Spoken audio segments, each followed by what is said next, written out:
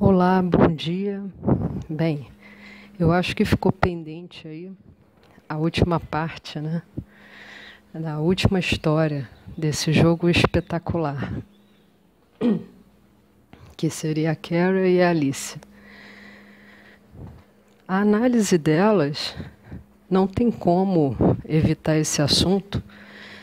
Abordaria, né? Vai abordar muito a questão da violência doméstica, né? Não tem como escapar desse assunto, né? Pois bem, a gente vê claramente pela imagem do Todd, né? Perdão aí pela minha voz, eu estou um pouquinho atacada, né? Essa mudança de tempo ataca logo a garganta. Bem, a gente vê pela, pela imagem do Todd a típica do agressor, né, de violência doméstica. É, no caso do jogo, essa violência doméstica vem acompanhada de uma agressão física e uma agressão psicológica. Não necessariamente os casos de violência doméstica, isso vale para homens e mulheres, né? Geralmente a gente fala é, em relação ao agressor masculino e a vítima feminina. Mas também pode ocorrer casos que o agressor seja do gênero, né, do sexo feminino e a vítima do sexo masculino. Ou um casal homossexual mesmo, né, em que um dos parceiros tem essa atitude violenta em relação ao seu companheiro ou companheira. Bem, então é, essa relação de abusiva que a violência doméstica ela é uma relação abusiva. E o que seria? Né? Qual é o conceito de relação abusiva? Relação abusiva induz a ideia de abuso. E o abuso tem a ver com o quê? É, é, tipo, atropelar os limites do outro. Não tem aquela brincadeira, cada um no seu quadrado, né? Cada pessoa tem os seus costumes, tem a sua rotina, tem a sua forma de pensar, de agir, tem a sua realidade, a sua vida profissional. E o abuso, o abuso seria o quê? Quando o companheiro ou companheira dessa pessoa, ela começa a invadir né, esse, esse quadradinho do outro. É quando começa assim posturas de, por exemplo, postura de extrema desconfiança, começa a mexer no celular do parceiro, da parceira, começa a insinuar coisas, né? a viver sempre desconfiado. E você percebe, né, quando está numa relação abusiva, que não tem motivo. Se você tem a consciência tranquila, né, você começa a observar é, a pessoa que está com você começa a ter esse comportamento de investigação, começa a olhar o seu celular, começa a insinuar coisas, é, torna a relação uma espécie de prisão, induz você a se separar do seu círculo social, dos seus amigos, das suas amigas, né, da sua família até. Você, tem, você tem, deve né, ligar o alarme, deve prestar atenção porque pode estar começando aí uma relação abusiva.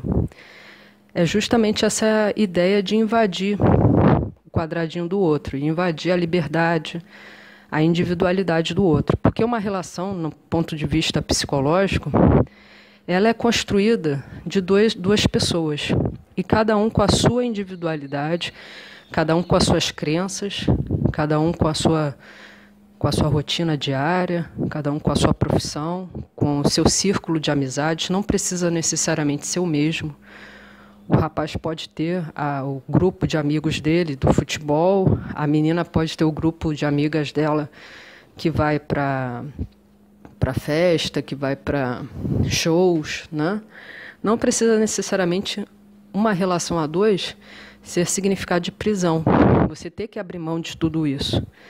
Do ponto de vista psicológico, quando você começa a abrir mão de tudo isso para viver em função do parceiro ou da parceira, isso já, tá, já é indício de uma relação patológica, já é indício de uma relação que não necessariamente é amorosa. né? Seria uma relação mais patológica. Por isso, eu acredito que a maioria dos casamentos hoje em dia tem curta duração devido a isso, né? As pessoas têm essa crença: eu me casei, agora eu tenho que abrir mão de tudo, tudo tem que envolver a minha esposa, tem que envolver meus filhos e a pessoa perde os hobbies, né? Perde a própria individualidade, os próprios gostos, as, as próprias diversões, distrações, né? E isso, do ponto de vista psicológico, não é, um, não é saudável. Né? Uma relação é, genuinamente saudável seria uma relação construída de duas pessoas, cada um com suas características. E o principal, gente, o tempero principal dessa relação tem que ser o respeito. Puxando um pouco para o jogo, a gente vê que o Todd, né, ele falta com respeito o tempo todo, né? É, ele impõe, né? aí você diz, claro, é uma ginoide, né? ela é feita para servir a um ser humano. Né? Mas estou é, dizendo se fosse usar né, no sentido relação normal, né? um homem e uma mulher. Ele é o símbolo típico do agressor. Né? No caso dele, ele tem a agressão física e emocional em muitos momentos ele fala que ela é incompetente, que ela é inútil, né? que ela é, é como se fala, desnecessária, né? que não serve para nada. E muitas vezes ele também tem um comportamento agressivo, né? Ele ataca também fisicamente, aperta o pescoço dela, ameaça, né? Então, a violência doméstica, a característica do agressor de violência doméstica é justamente essa. Ele vai minando, vai sabotando a autoestima da vítima dele. E ah, o comportamento do Todd, esse comportamento extremamente é, manipulativo também, porque depois que ele agride, ele se faz de vítima. É um personagem até interessante porque ele estimula em quem está jogando é uma certa piedade, uma certa misericórdia. Porque ele é drogado, ele começa a se drogar, né, usando rubrite, né, que é a, a droga do jogo. Além disso, misturando antidepressivos com álcool. Né? Então, a pessoa que está jogando meio que se sente uma certa misericórdia, porque no cenário do jogo a gente vê que ele era taxista e desde o começo a gente vê que os táxis eles se tornam é, autômatos, né? com direção automática, com direção totalmente independente do manuseio humano. Né? E a gente deduz que ele ficou desempregado. Né? Ele não tem uma renda porque ele, a profissão dele deixou de existir, literalmente falando. E aí subtende-se o quê? Que ele apelou para as drogas, para a bebida, né?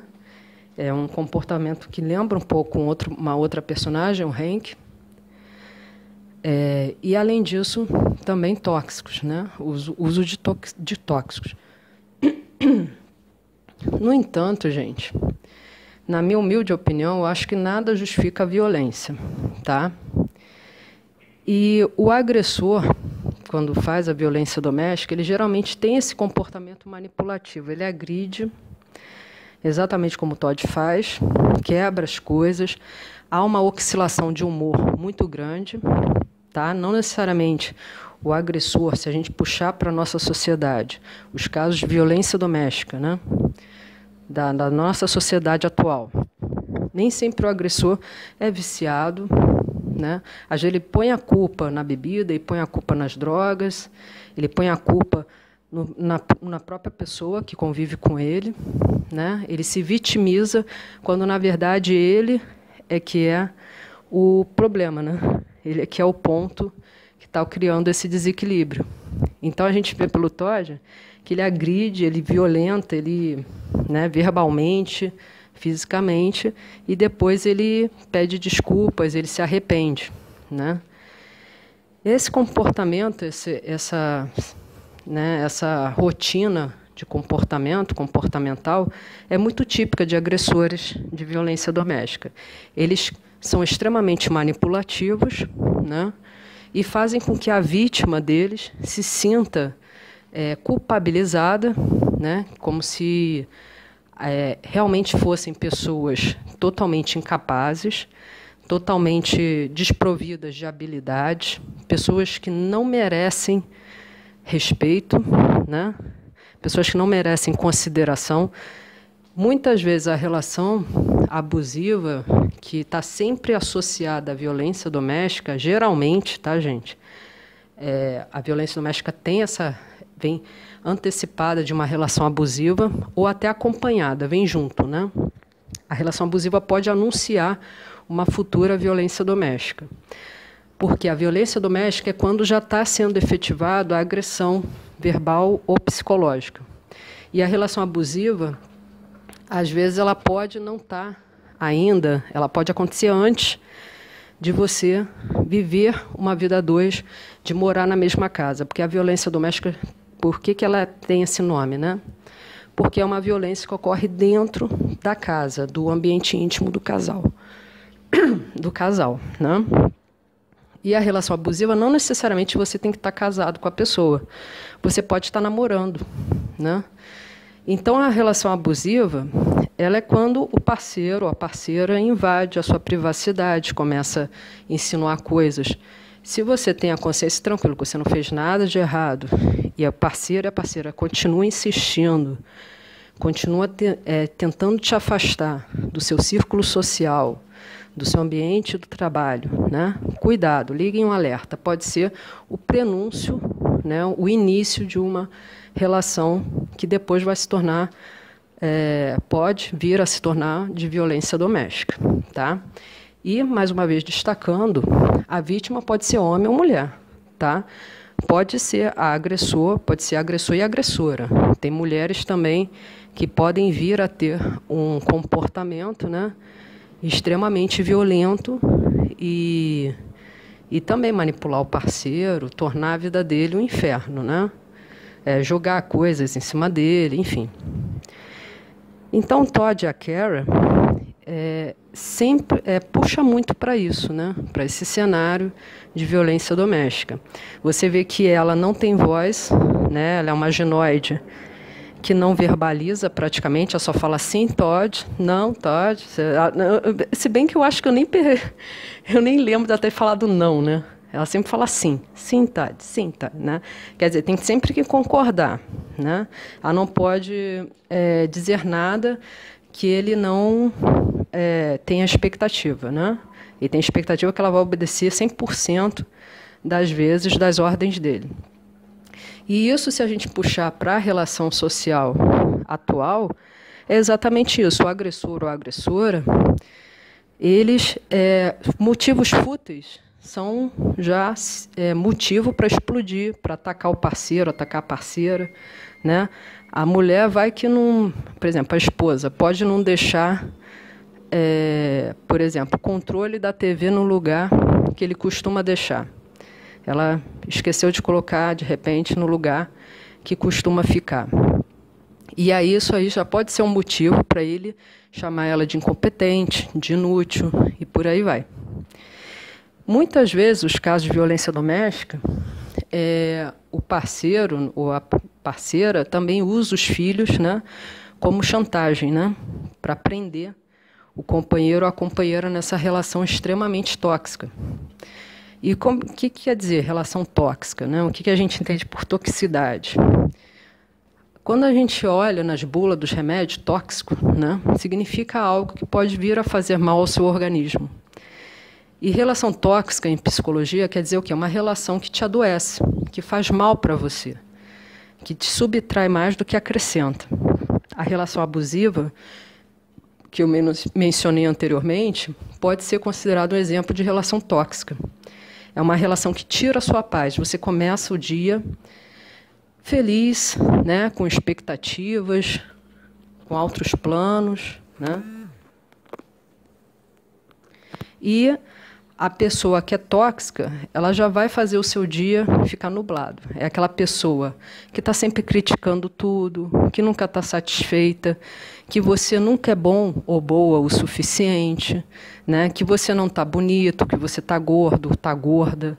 É aquela pessoa que sabota a sua autoestima. É como se ela sugasse né? a sua disposição, o seu ânimo. Tipo assim, você acorda alegre, cantando a sua música favorita, e essa pessoa se aproxima de você e já fala: O que está cantando? Você tem motivo para isso? Ó, tem que pagar isso, tem que pagar aquilo, né? Ó, pô, tá gordo desse jeito? O que você está cantando? Tem que estar tá triste, né? Então é aquela pessoa que sabota, que subtrai mais do que acrescenta, vamos dizer assim, né? Então, esses seriam né, uns exemplos que eu dei para vocês de pessoa tóxica. Tá? É, e no, no jogo a gente vê que o Todd ele é exatamente assim. Elimina completamente a autoestima da Kara. Né? Ele chama ela de androide inútil, é, ele xinga, ele bate nela, ameaça o tempo todo. Né? Esse comportamento de ameaça, manipulativo, de se vitimizar. Muitas vezes a vítima da, do, do agressor, né, da vítima de violência doméstica, ela, ela às vezes acha que a culpa está nela, que ela não é boa o suficiente. Né? Tem que tomar muito cuidado com isso, porque a autoestima fica muito baixa e aí acaba absorvendo toda aquela toxina, todo aquela, aquele conteúdo tóxico. Né? E como acontece no jogo, né, pelo menos a psicologia ela defende o quê? Que essa vítima ela tem que realmente se afastar desse ambiente tóxico, né? Porque enquanto ela estiver dentro desse ambiente, ela está tomando esse remédio, tá, é, esse veneno, né? Ela vai continuar adoecida. E como acontece no Detroit Become Human, né? A Cara, ela se afasta do Todd. Então seria o tipo de comportamento apropriado, né? Se afastar desse ambiente adoecido. Se a gente puxar para a nossa sociedade, recomenda-se procurar a família, os amigos, algum ponto de apoio, pelo menos para a pessoa revigorar a sua autoestima.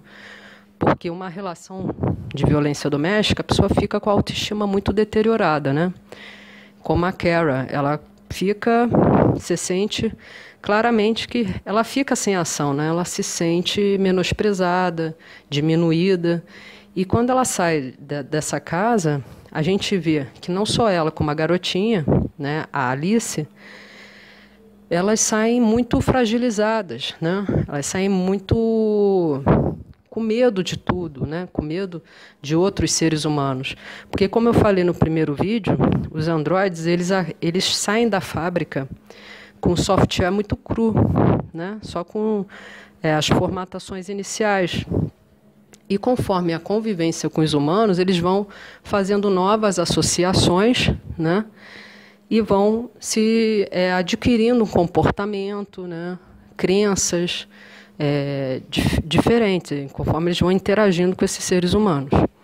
Tá? E como ela, a fonte de conhecimento dela foi um homem extremamente violento, ela acaba associando a imagem humana a uma imagem de violência.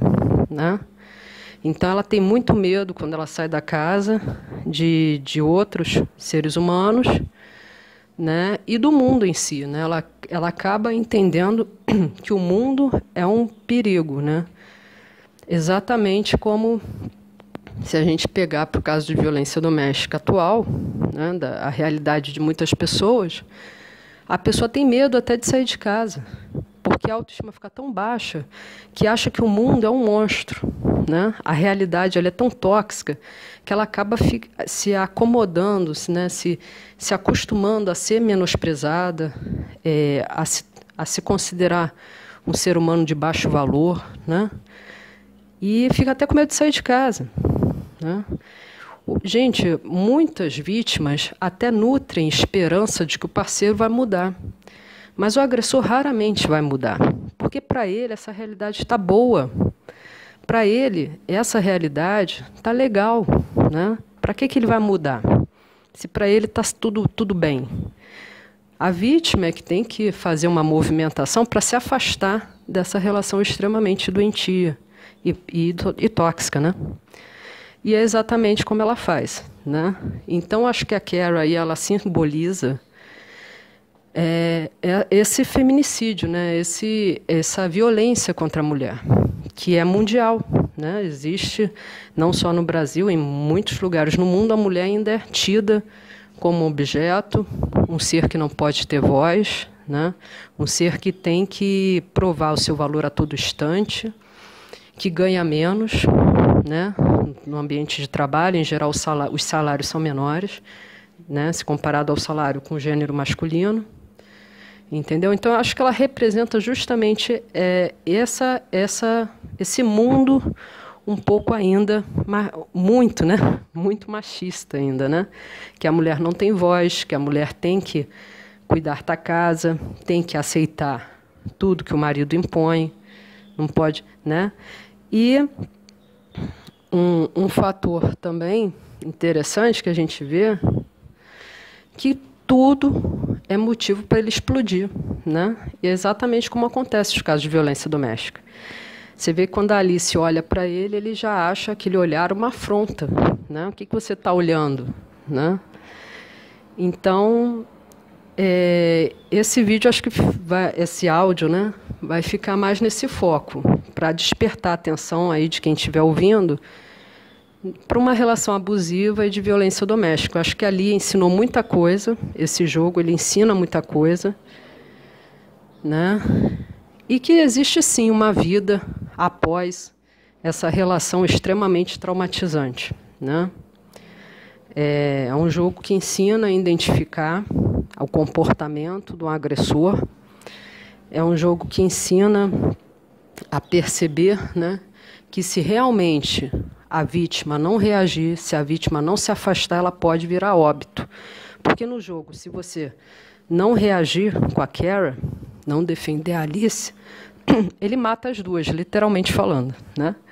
E é no caso de violência doméstica atual, também a tendência é que a violência aumente gradativamente. Começa com tapa, depois começa com soco, depois começa com chute, e pode vir sim a causar o óbito do parceiro ou da parceira. Tá? Mais uma vez chama atenção, gente. Violência doméstica é para os dois sexos, tá? O agressor pode ser do gênero masculino ou feminino, tá? Então é isso. Eu acho que a relação da Kara e da Alice é dessa codependência mútua, né? A Kara ela absorve muitas toxinas no sentido psicológico, que ela acaba, se a gente perceber, é uma sutileza do jogo isso ela acaba desejando que a Alice não seja uma genoide, que ela não seja uma androide que nem ela. Né? Por quê? Porque ela absorve do Todd que androides são inúteis, que androides são desnecessários, que eles não merecem, eles, são, eles não têm vida. Então ela entra no processo que a gente chama de na psicologia de negação, que no começo ela vê uma foto da Alice, um anúncio né, da Cyberlife, eu acho que é Cyberlife, não sei, um anúncio lá, e tem um rostinho da Alice como uma ginoide, né, com aparência infantil. E mesmo assim ela passa o jogo todo achando que pensando, né, que a Alice é uma humana, é uma criança humana. Aí entra esse aspecto da negação, né? O Todd enfiou tanto na cabeça dela que ele foi a fonte de destruição dela, né, no caso, ele é o, é o dono dela.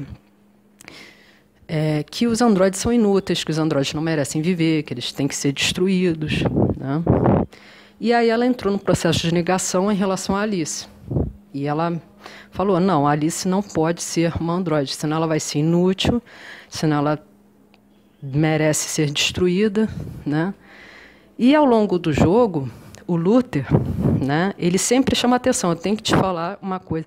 Não, não quero. Não, agora não. Né? Ela sempre entra nesse processo de negação, que na psicologia existe. Né? A pessoa ela está com a situação na frente dela, né? Nesse caso, a, a Kara já é uma divergente, ela já se, tem um comportamento predominantemente humano. A situação está ali estampada na frente dela e ela não vê. Isso existe, tá? Na psicologia, isso se chama de negação. Né? A pessoa, é, por exemplo, é traída na frente dela ali, ela vê o parceiro, a parceira, com outra pessoa. Não, não é nada não. Isso a gente chama de processo de negação. E a Alice, ela entra nesse, é, perdão, a Carol, ela entra nesse processo de negação até o final. E só no finalzinho que ela, ao ver outra ginoide do, do modelo da Alice, que ela se choca, ela se impacta, né, e o Luther fica desconfiado e ela cai em si. Eu botei que ela aceitasse, né, a Alice como como filha dela. E mesmo assim, quando você bota para ela aceitar, você percebe que ela sofre aquele baque, né? Quando a pessoa que está em negação, ela finalmente absorve a realidade, há aquele choque. Porque o que é o processo de negação? Geralmente a pessoa entra em negação porque é uma situação muito problemática, uma relação muito sofrida. É uma situação de muita dor. Então a pessoa naquele momento ela não tem maturidade psicológica para lidar com aquilo. Então ela entra no processo de negação, né? E, então o jogo ele traz a violência doméstica e traz esse processo de negação que a gente tem presente na, na psicologia, né? Esse conceito, né? Então, gente, eu acho que esse, esse áudio ficou mais aí como um alerta. Como eu falei, é um jogo espetacular, ele, ele acrescenta muito, ele passa muito conhecimento. Né? E o meu vídeo, eu espero que tenha um efeito complementar, para esclarecer ainda mais algumas questões né, psicológicas que o jogo aborda. Tá? Eu espero que tenha ficado claro, uma linguagem acessível para todo mundo. Né? e que tenha auxiliado vocês a ficarem vacinados né, em relação a relações abusivas e de violência doméstica, assim como o jogo ele ensina né, como identificar esse tipo de como quão problemático é esse tipo de relação, né? Eu acho que todo mundo que jogou sentiu na pele, literalmente, né? Que é um jogo muito realista, muito bom, a situação da vítima, né? Então, é, esse áudio vai, vai servir apenas para né, complementar e fortalecer o ensinamento que o jogo passa.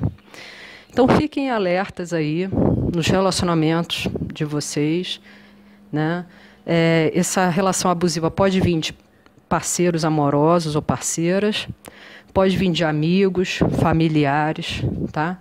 Observe se a, se a pessoa com quem você está se relacionando, se está conversando nesse momento, se ela respeita os seus limites, se ela respeita o seu ponto de vista, se ela respeita a sua intimidade, porque o celular é uma coisa íntima, né? Pode ter coisas ali que você não queira que outras pessoas vejam. E o parceiro vai e, mexe, e apaga, né? É, e dependendo do parceiro ou da parceira, pode apagar até coisas importantes, como documentos de trabalho. Né? Então, fiquem atentos. Se o parceiro ou a parceira de vocês tem esse comportamento de infringir os limites que você impõe. Se esse parceiro, essa parceira, se eles te animam, se eles tornam vocês é, mais alegres em relação à vida, né? se eles apoiam vocês no sonho de vocês, se eles dão suporte, né? se eles te animam a prosseguir, a melhorar as suas habilidades, a melhorar de vida, né? observe isso. Se essas relações acrescentam ou subtraem. Né? Muitas vezes a pessoa fica numa relação tóxica e ela não percebe. Às vezes é uma pessoa cheia de vida, cheia de planos, e aí vem aquela, aquele, outra, aquele outro indivíduo e desanima, né? Ah, mas isso nunca vai dar certo. Ah, mas isso não é para você. Ah, mas você tá assim, tá horrorosa, vai botar uma roupa dessa, né? Preste atenção nisso. Eu sempre digo, sempre pese tudo que você faz, tudo com quem você se relaciona, te acrescenta ou te subtrai. São pessoas que te trazem mais alegria ou só te trazem tristeza, desânimo, desilusão, né? Fique atento em relação a isso. E a Kara, Alice, né, com certeza trazem o efeito devastador de uma relação tóxica. Baixa autoestima, insegurança perante a vida, né? Por isso, se recomenda, quem é vítima desse tipo de situação, procure um familiar, procure um apoio familiar, procure o apoio de amigos, né? se afaste de, de, desse ambiente que não é saudável, que vai te fazer mais mal do que bem, tá? E antes de virar violência doméstica, preste atenção na relação que você tem com essa pessoa, se ela já é uma relação abusiva, se ela é uma relação que está minando seus planos, que está minando o seu psicológico, né? Preste atenção nisso, tá? Porque antes de virar violência doméstica, o parceiro e a parceira já vai dando sinais né, ao longo da relação. Como ele trata os parentes, como ele trata os próprios amigos, como ele trata as pessoas que estão ao redor. Por exemplo, um garçom. Vocês estão num restaurante. Como essa pessoa trata o garçom? Como ela trata, né? Porque futuramente aquela pessoa vai tratar você assim, tá? No começo da relação ela pode até disfarçar. Mas é muito provável que futuramente vai te tratar assim. Então a Carrie e a Alice com certeza chamam a atenção para esse tipo de relação abusiva, né? Então é isso, gente. Eu acho que ficou bem claro aí, tá? E eu espero mais uma vez que vocês gostem, tenham gostado desse desse áudio, ele tenha acrescentado à vida de vocês, né? A importância da saúde mental né? E se tem pessoas que estão te adoecendo, que estão te causando é, esse problema, né? Selecione as suas amizades, selecione seus relacionamentos, né? Porque é, autoestima é um item muito importante para termos saúde mental, tá? E a gente vê no jogo claramente que isso mina qualquer autoestima, né? Você vê que a Kara e a, e a Alice são seres muito fragilizados, né, muito codependentes, uma se prende na outra com muita força, né? Por quê? Porque uma dá segurança para a outra, que elas são se tornaram ginoides extremamente frágeis psicologicamente, tal que quando é, tem certas situações de jogo que a Alice né, morre eu, eu joguei algumas vezes, então em alguns momentos a Alice morre. E a gente vê que a Kara até tenta se matar por isso, né? Ela pensa em se matar. Ou seja, você vê aí a fragilidade né, psicológica dessas duas ginoides.